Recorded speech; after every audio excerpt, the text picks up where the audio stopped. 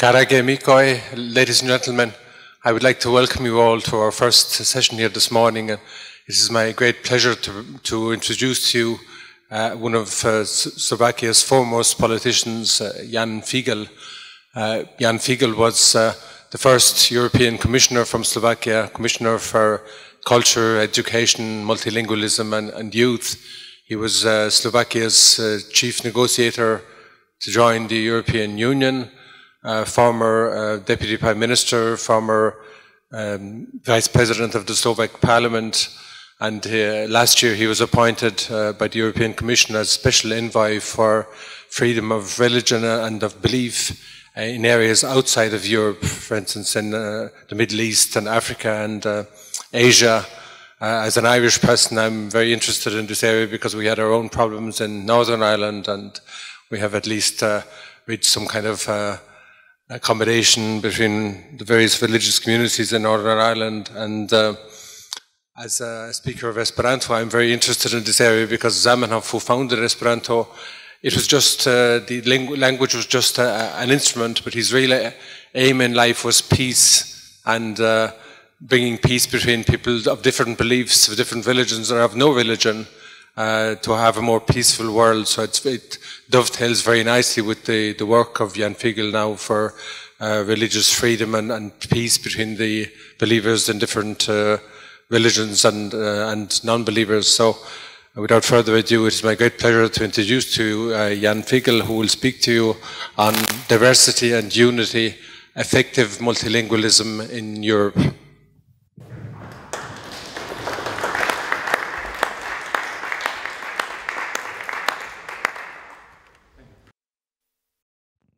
Thank you. Thank you, Sean, for warm welcome and for your contributions, your uh, commitment and cooperation.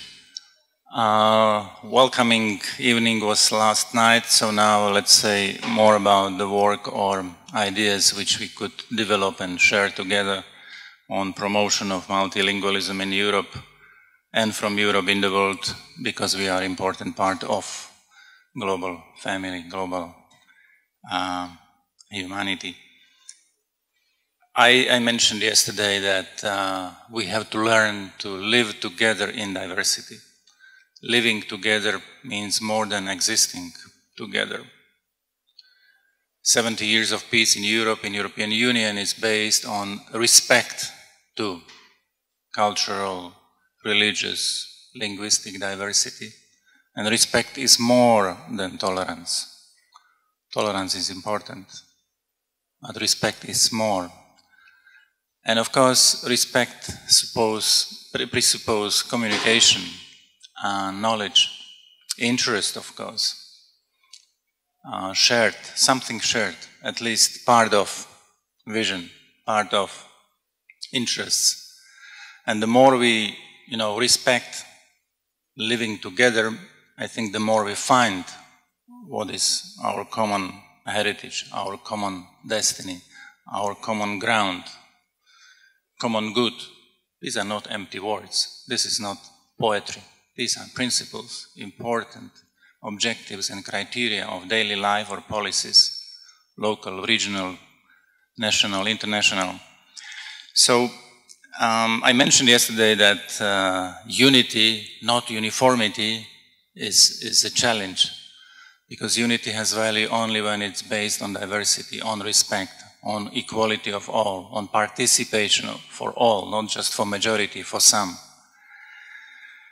And um, in a way, we need to look to old things or issues or challenges by new eyes, new ways, new approach, through innovations, to be innovators. For example, Robert Schuman was innovator with Adenauer. They didn't follow the previous steps they, they started a new path. I'm engineer, I don't want to say it's more or less, but innovation means to do more for less energy, for less money, etc. Yeah? It doesn't mean questioning the quality or quantity or conditions, but doing things better, more efficiently. Yes, I was first uh, chief negotiator and the first uh, commissioner from Slovakia to build new Europe New Europe is not accomplished or achieved reality, but it's, it's a new Europe, definitely. And I don't want to speak too much on geopolitics and even politics, but uh, to see, to see uh, and to think in innovational terms and conditions means to do things better. Uh, it doesn't mean elaboration, it doesn't mean spe uh, speculation, because we have to respect principles, rules, but, but to be innovative. I was founder in 2008 of the EIT, which was kind of uh, parallel, which is kind of parallel to MIT, Massachusetts uh, Institute of Technology, but it's European Institute for Innovations and Technology, which is based on knowledge uh, and innovation communities, putting together education, universities, research, research centers, businesses, and of course, reasonable support of public money or public policy from uh, European uh, Union. And the EIT is example how to make Europe more innovation friendly. I was also uh, first uh, commissioner, uh, or we succeeded in the area of sport, which was not official, not full, because it was not mentioned in the treaties, to prepare and to publish first, adopt with member states, first uh, white paper on sport. Why I mention it? Because sport is so important, so popular, so spread all over the world. Like Olympic ideal from Europe now is global sport becomes global. And it can be used as a communicator, as organizer, motivator, to get people together, to celebrate humanity, togetherness.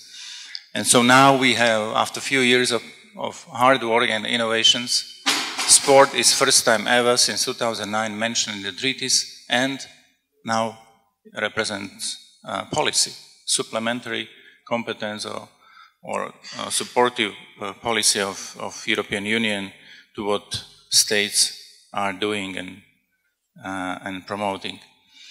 So uh, to conclude my message from the beginning, now it's 100 years and this, especially in this part of Europe, you can notice it, you can see it, legacy in good and bad shape, whatever it means, 100 years since Bolshevik revolution on this continent. Very bloody, very divisive, oppressive. And, um, and uh, legacy, re remembrance, knowledge uh, of the totalitarian past in order to, to behave differently now and for future means invitation to live together more than to exist together, to look for the values which are so crucial for each of us and all of us together and to work upon them, promote them. And um, next century may be better, not only in Europe. Must be better, should be better, depends on us. It's not, you know, from the climate change or I don't want to speak about decisions of American American president on climate change, but freedom, justice, rule of law, humanity depends for future century more on us than on our forefathers.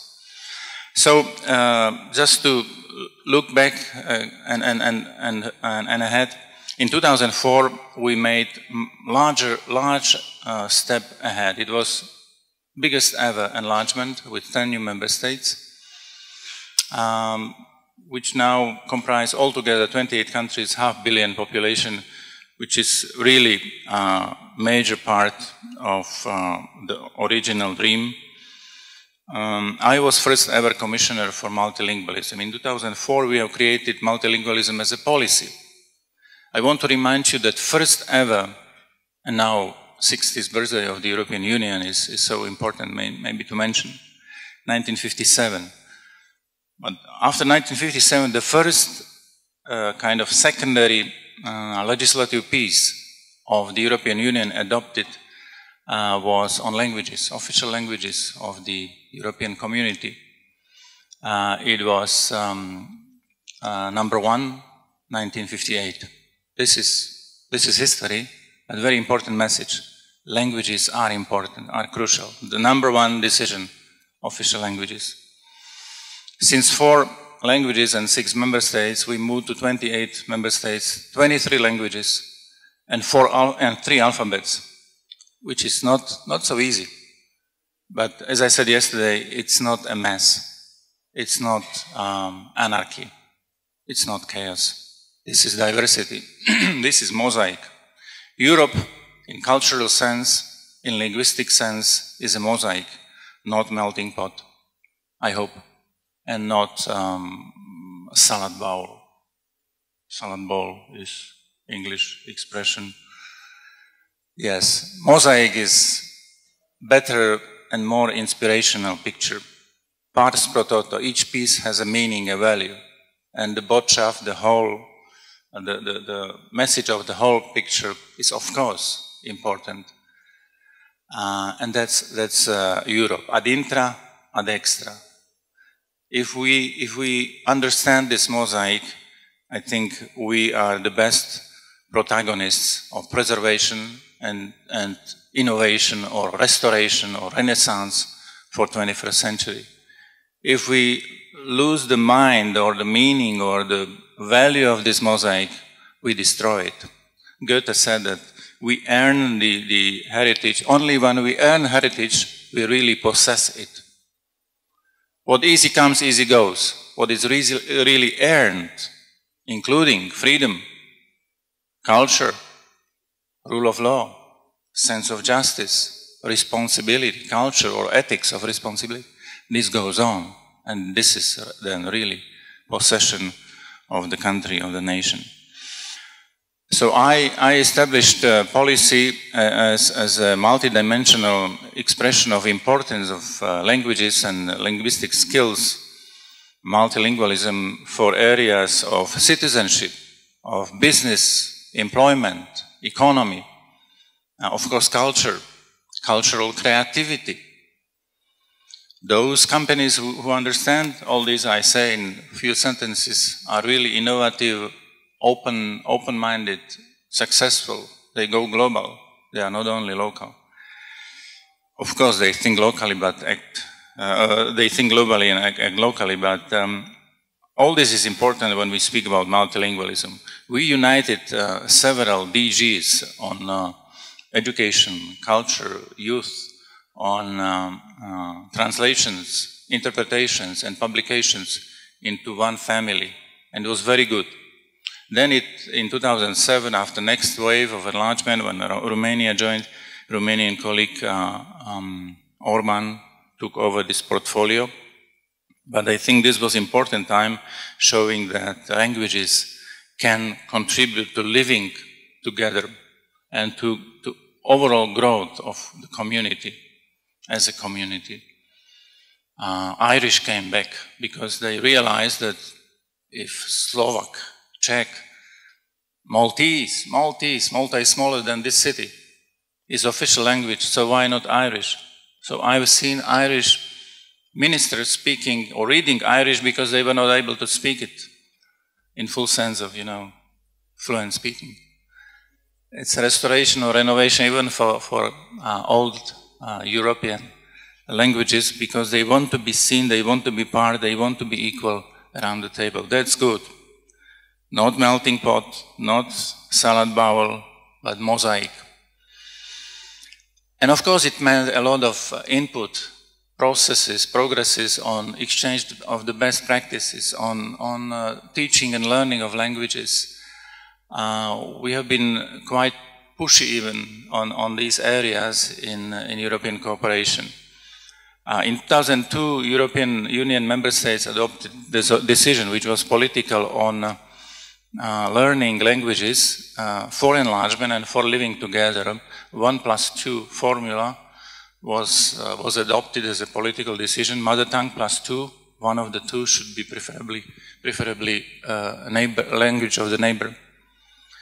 But what happened later was a lack of real commitment to deliver, to follow this decision.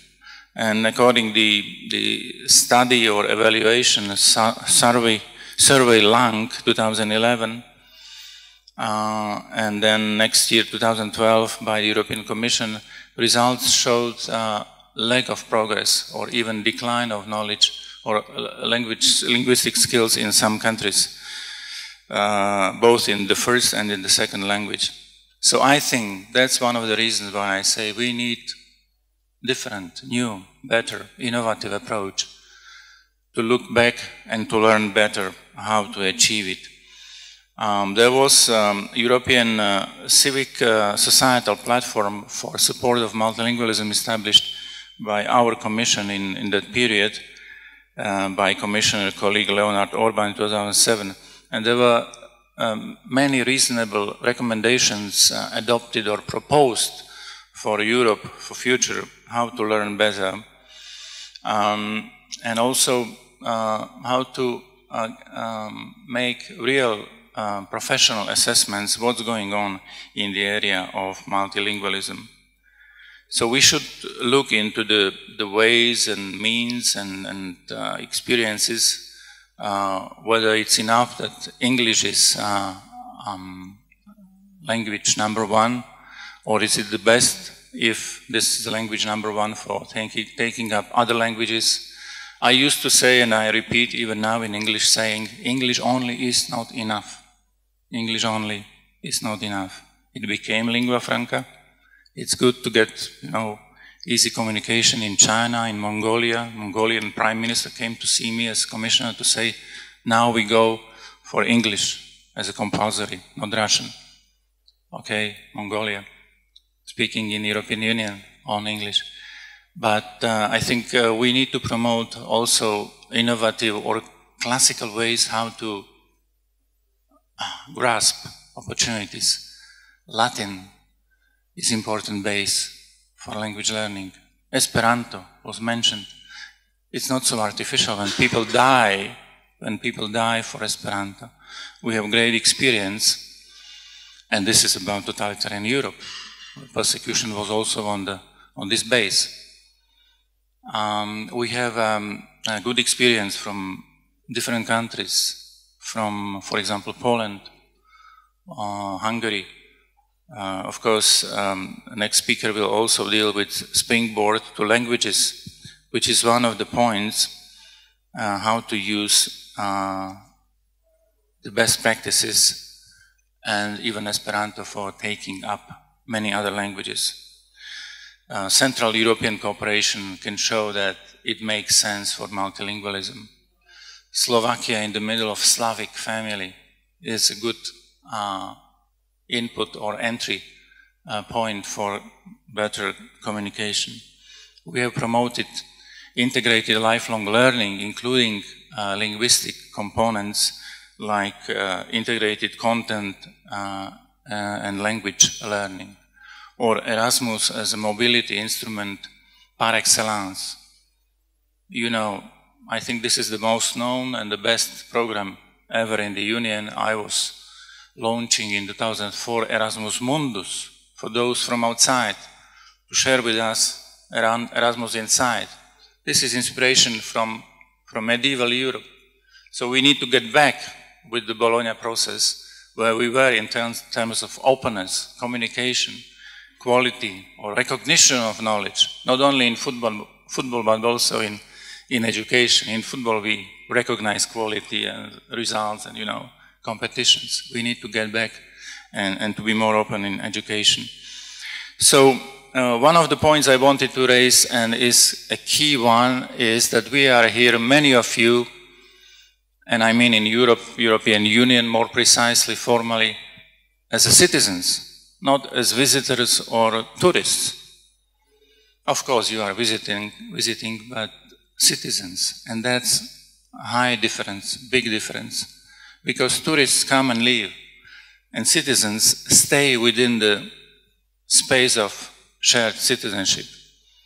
And it mean, means more. It means rights and duties, because no household will work, operate uh, without obligations.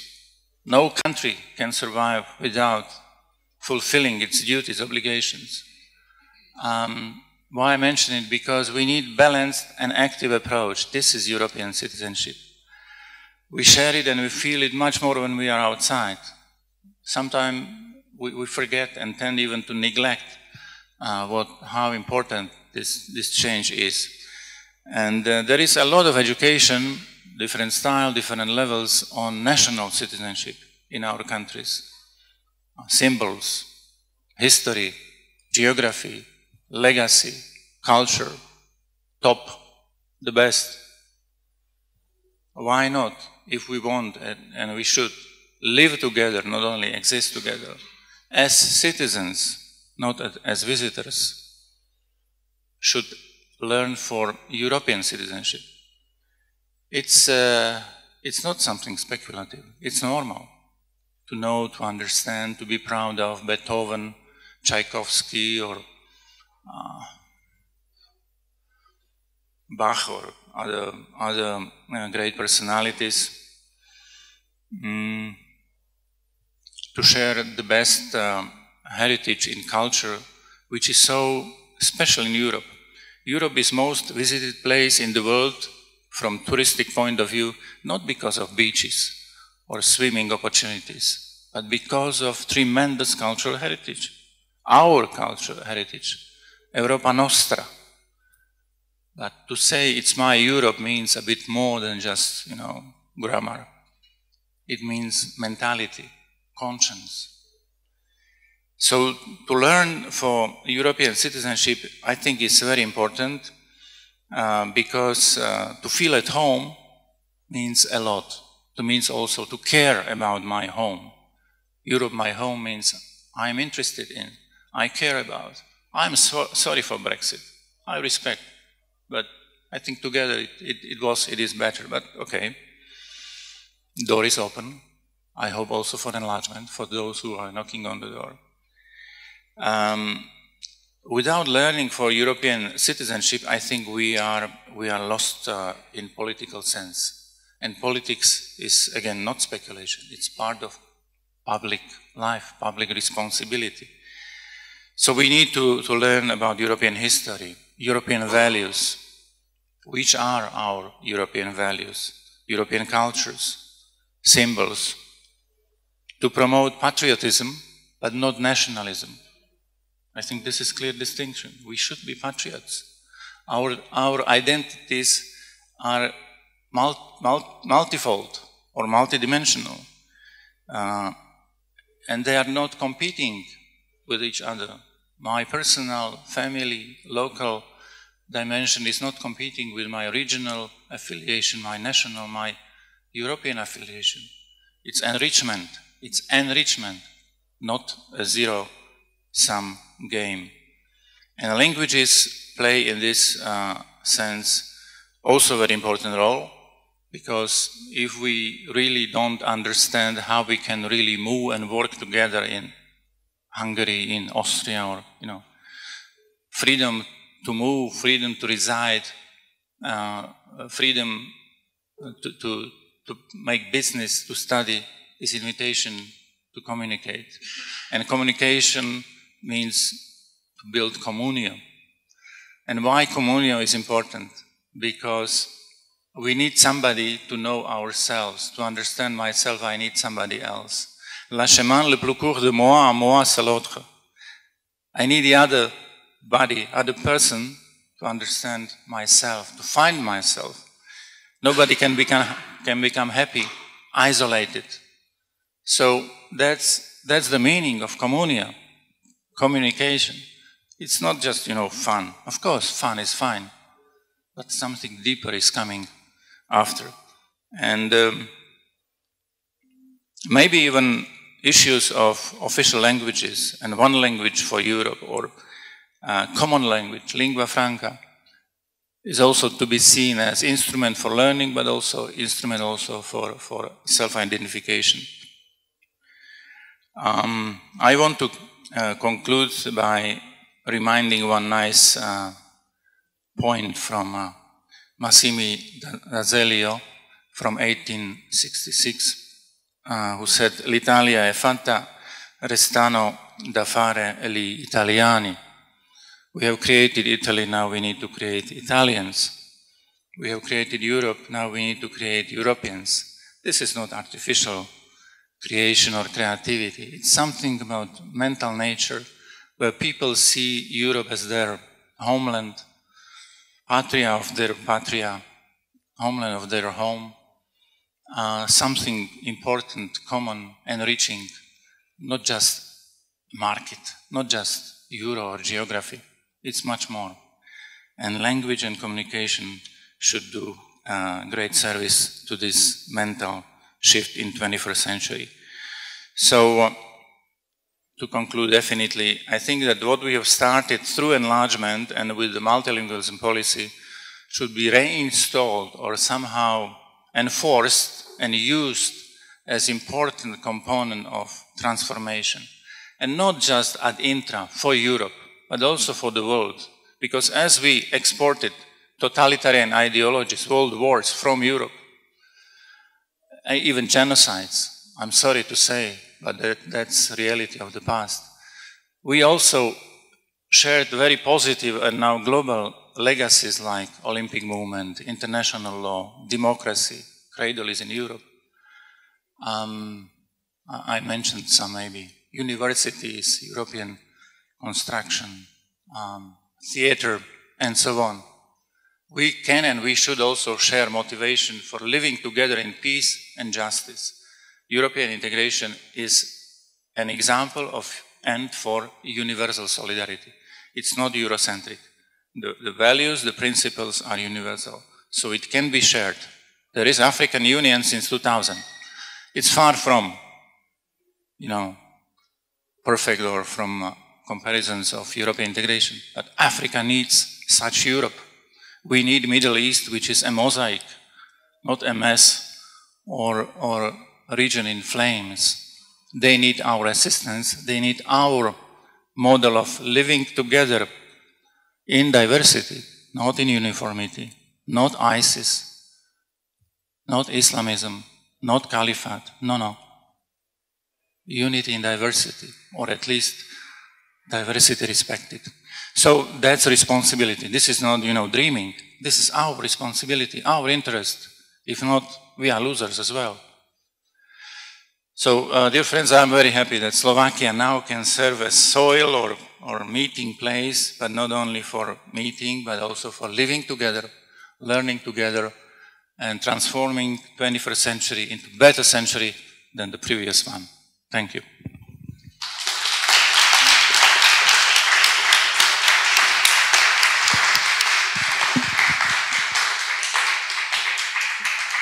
Uh, thank you very much, Jan. Now we'll have uh, questions and comments. I, I, think that was an excellent presentation and very, very good beginning to, to, today's discussions, and particularly the point on European identity, which is ha in harmony with our own national identities. It's additional. It's not instead of the nation. We can still love our own country, but we also feel at home in any part of, of Europe. Um, we'll take questions. I think uh, first I saw was here, then.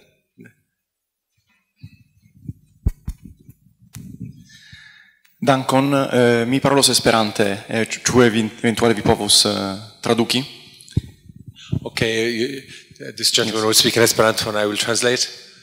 Eh, do vi parolis eh, pri la facto che in multaj Europaj landoj eh, la generala cono de fremdaj lingvoj estas malaltiĝanta. Uh, you mentioned that in um, many European countries the general knowledge of, of languages has been uh, decreasing. Kai uh, eble mm, shainas al mi che uh, iu uh, chialo estas la facto che uh, la angla prenas pli kai pli da partoi della lingua mercato. And perhaps uh, one of the reasons is that uh, English has been more and more uh, uh taking over the, uh, the linguistic market considerante anche o compreneble la cultura, la musica, la letteratura, uh, la film in cotopo. When one considers uh, cultural aspects like films, music, uh, pop music, uh, etc. Do, la demando estas, eh, ĉu vi pensas che tiu eh, eh, tiu tendenzo eh, daurigos, eh, pligrandigos, pligrandigios eh, aune, kiu kiel oni povas eventuale eh, ehm, pli, do, la, la situazion. Uh, the question is, uh, uh, do you think that this uh, domination of English is likely to continue or even grow stronger? Or is there some way of uh, um, having a more balanced uh, multilingualism? Uh, Maybe I'll take a few questions first of all. We had a question here as well, a comment.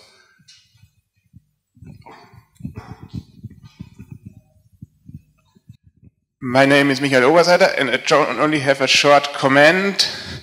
Uh, is it really true that Irish is not official language? Because I read in the newspaper after Brexit that the first language which Ireland has announced to the European Union is Irish and not English. And due to the Brexit, English will lose its status as official language of European Union because Malta also said Maltese is their first language. Uh, perhaps one more question, then we'll have a replies. Is there any, any more questions or comments at the moment? Yes.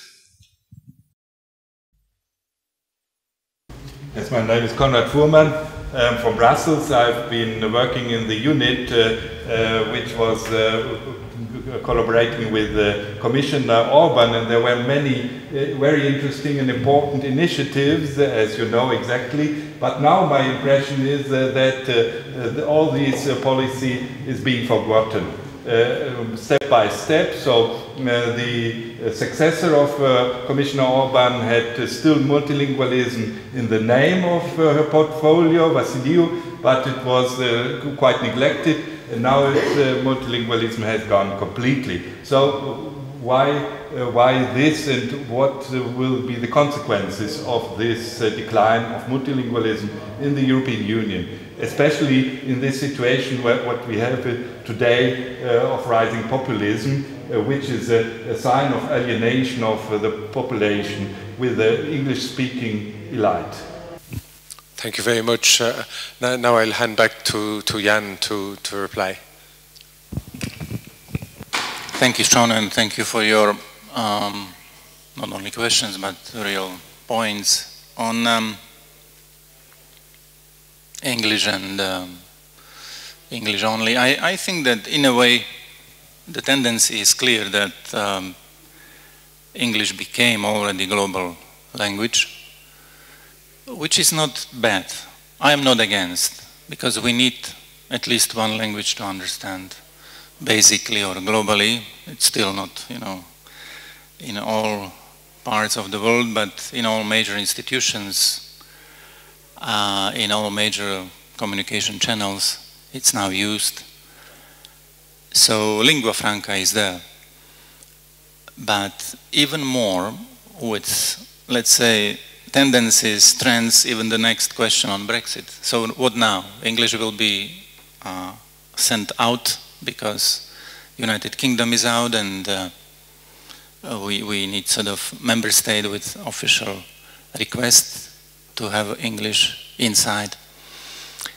Um, Brexit is still ahead.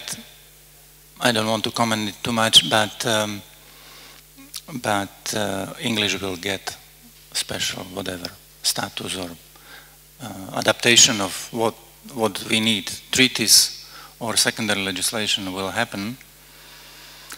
Uh, but what comes as additional, even more visible or pressing point is, so where are the others? Uh, are they secondary or less important? And precisely, uh, if we don't care about identities, about differences, about minorities, then we lose almost everything. We, we lose majority if we don't care about minority. I mean majority in terms of democratic mental maturity to live together, to bear responsibility, to go on from crisis to crisis. This is not tragedy if we go up. There were so many crises. My father would love, my father would love to, to address euro crisis or economic crisis of our time or what we have now. My uncle, brother of my father, was killed by secret services of Czechoslovakia. So what we have in hands is a great legacy. We are lucky generation to discuss languages, to learn more, which we had compulsory system, but I'm you know always sort of comparing.